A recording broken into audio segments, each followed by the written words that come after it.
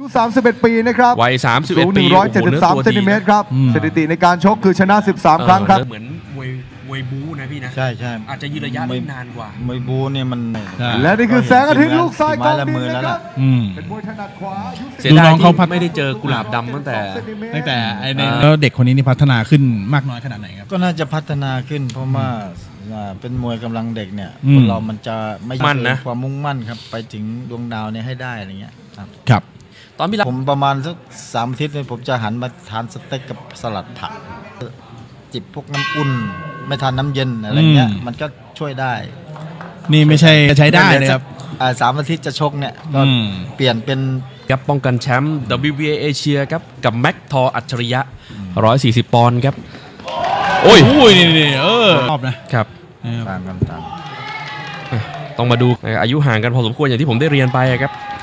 แสงอาทิตย์ก็ซ้อมลูกชายกองดินนะครับ เป็นค่ายของคุณพ่อเขาครับ ก็มีพวกเอเชีย 140 แล้วก็ WBA โอ้โห147แม่ไม่กลัวเหมือนกันครับ แสงอาทิตย์นี่ตัดผมมาเพื่อไฟล์นี้เลยนะครับอะยกกาดสูง โอ้โห1 2 3ครับของแม็กเนี่ยเสียงแตกแล้วนะครับนี่แต่แล้วใช่ไหมเสียงแตกแล้วบางคนก็เออไม่รู้เชียร์แม็กเออใช่ครับพี่ละบางคนก็เชียร์ไอ้เด็กหนุ่มอ่าลูกชายกองดินอย่างเจ้า ยังเป็นฝ่ายขยับเข้าหาเหมือนเดิมครับอืม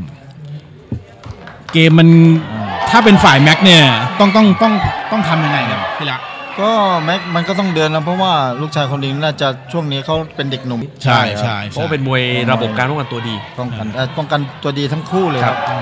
โอ้ยแต่ถ้าอยากดูน็อกเนี่ยเดี๋ยวผมให้พี่ละไปเปลี่ยนเกงสักแป๊บหนึ่งอ่านะฮะน็อกแน่นะน็อกแน่นะ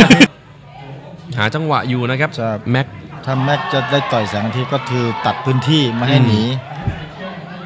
ถ้าตัดได้ก็ได้ต่อยอะแสงอาทิตย์มันจะเร็วกว่านิดนึงอ่าไฟล์นี้นี่ที่ผมเห็นเพิ่มเติมของแสงอาทิตย์นะครับ คือจังหวะใช้เอวโยกนะอืมวัดกันที่ความเร็วแหละอย่างที่พี่ละบอกครับใช่เข้าสู่ช่วงปลายยกแล้วครับแต่ทั้งคู่นี้ป้องกันตัวเก่งมากครับกำหนดชก 10 ยกครับคู่นี้ครับ ชกในเกมตั้งรับที่ตัวเองถนัดครับเปิดโอกาสให้แม็กนี่เดิน แต่เดินแล้วต้องทำไม่ได้ด้วยนะโอ้หมัดเร็วครับแสงอาทิตย์อืมอะโยกคือระบบการป้องกันตัวดี คือน่าจะเหมาะกับการชกมวยสากลมากกว่านะแสงอาทิตย์ใช่ครับ อุ้ยมาเปิดหน้าไม่ได้นะครับ เพราะว่าแม็กนี่มาหลายหมัดครับครับเวลามาทีนี่ถ่ายรูปยอมถ่ายรูปเหรอ จริงหน้าเหรออ่าเป็นนอกเขาเขาจะชิงแชมป์ของล่ามเนินอยู่แล้ว อ๋อเราไปไปไปน็อกอยู่ๆไปน็อก ว่าที่ผู้ท้าชิง ใช่เขาเลยไม่ได้ชิงเลย ใช่เขาไม่ได้เขาอแล้วดเลยแล้วพี่อ่าแสงอาทิตย์โยกโยกตัดลำตัวครับอืมอ่าพยายามจะเก็บอาการนะครับแม็กอืมสายศีรษะครับบอกว่าไม่มีอะไรเลยครับ โอ้นี่ครับ จังหวะ อ่าหลวงทองครับ ยังโดนไม่เต็มครับหนึ่งสองสามโอ้โหว่ามาเป็นชุดครับ โอ้โหเร็วเร็วอืมอ่าโดนไปหมัดหนึ่งเหมือนกันนะครับแม็กโอ้จังหวะเข้าหลุดหลวมก็มีเหมือนกันครับแม็กครับเพราะว่าเขาแสงอาทิตย์ก็ยังฉาบฉวยสวยงามครับสิบวิสุดท้ายครับ ยกนี้ยกสี่โอ้โหบีบหัวใจครับ เป็นมวยคลาสสิกนะครับ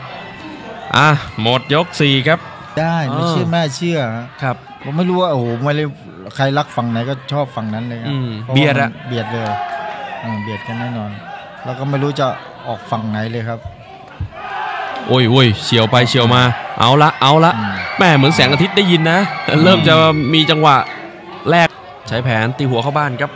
อะแม็กหนึ่งสองโอ้โหฮุกซ้ายไม่โดนครับ อืม อะ จังหวะที่แสงอาทิตย์ต่อยเข้าไหมพี่รักมีผลนะกำคลัรับงใจมีผลครับเออกำลังใจด้วยแล้วก็อำกรรมการอาจจะค่อยเควได้เอออืมต่อยผิดต่อยถูกเคไปก่อนใช่ไหมโอเคไปก่อนเหมือนตอนที่ผมไปญี่ปุ่นน่ะพี่เพชรอะไป เราก็ต้องน็อกเขาให้ได้ครับอืมอะช่วงปลายยกที่ 5 นะครับ กรรมการพินิษเตือนคนก็ราคาไม่ค่อยมีผลเท่าไหร่ใช่ไหมครับ ใช่ ราคาวิ่งปู๊ดเลย อุ้ย อะเอ้าฮุกซ้ายหมัดมาเอ้ยโอ้ทั้งคู่ตัวนี่ไวแลกกันแลกกันดีนะจุงอาทิตย์ได้เปรียบนิดๆครับเยอะไหมไม่เยอะใช่ไหมไม่เยอะครับ เพราะว่ารวดเร็วกว่านิดนึงดีไงอืมก็เลยได้เปรียบนิดนึงแสงอาทิตย์เนี่ยยังต่อยไม่โดนเนาะยังต่อยไม่โดนน่ะนะมันนี่นี่นี่เอาแล้วไง นับแล้วไง เห็นไหม โดนหัวนั่นเนี่ยต่อยนั่นเนี่ยโดนอะไรอะ โดนโดนฮุกจังขหวะวาสองฮุกโดนขวาต่อยขวาครับโดนต่อยเอาเหรอขวาตรงโดนต่อยขวาตรงคือจังหวะแม็กเนี่ยใช่ต่อยผิดเห็นไหมอืมต่อยใช่ผิดครับ ปุ๊บแสงอาทิตย์ทิ้งขวาตรงเลยอ๋อโอ้โหเดี๋ยวเดี๋ยวเออนี่เห็นไหมโอกาสน็อกเลยเว้ยเออการน็อกเลยนะแสงอาทิตย์เอนะอ มันโอ้โหหมัดเร็วเฮ้ยเออเห็นไหมเมาเมาเออตอนนี้เออ เมาเมาเมาโอ้ เมาเมา ต้องต้องต้องเอาตัวรอดให้ได้เออยกนี้ครับกอดไว้ก่อนต้องกอดไว้ก่อนไว้ก่อนต้องเอาตัวรอดให้ได้ครับผม เมา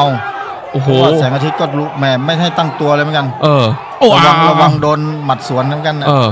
โอ้แสงอาทิตย์กาจะเช็คบินเลยนะ ใช่ใช่อืมกะเลย มันยังหนุ่มแน่นอยู่แล้วโอ้ยโอ้นี่นี่หนักนะลูกนี้หนักเขาเรียกหมัดหมัดคว้างเอเอออหมัดคว้างอะสองนับเอียงสองนับโอ้นับที่สองแล้วนะครับ รอดไหมเนี่ย อาจจะไม่รอดระฆังมันมีไหมระฆังมีไหมไม่มีนะไม่รู้แล้วโอ้ยอีกนาทีกว่าธรรมดที่ไม่รอดละงั้นนะรอดโดไหมนนับครั้งนี้ก็ไปเลยล่ะโดนเออจับเลย จับละจับละโอ้จับละโอ้โหจับเหลยแล้วเชื่อเห็นไหมโอ้แสงอาทิเห็ตนย์ไหมจับละเออ ผมผมบอกแล้วมวยหนุ่มแน่นได้เปรีเอยบอ โอ้โหแล้ร่าวงกายแม้เวลาเขาเออ เขาใส่นี่ไม่ยั้งเลยนะอืม ถ้าเป็นถ้า 30 กว่าอย่าต้องมียั้งนะเพราะว่าอืมเหนื่อยไงอืม แต่เขาไม่มีเหนื่อยไงโอ้โหน็อกคือมันเลยน่าเชื่อไม่น่าเชื่อนะ เวลาไม่น่าเชื่อเลยครับ โโหผมมองว่าทีแรกจะครบยกได้ซ้อ่าำเพราะว่าโอกาสทั้งคู่เนี่ยป้องเป็นจุดโฟกัสของนักมวยอยู่แล้วครับเออมันก็เลยโดนโดนไปนับครั้งแรก ครับ แล้วครั้งสองก็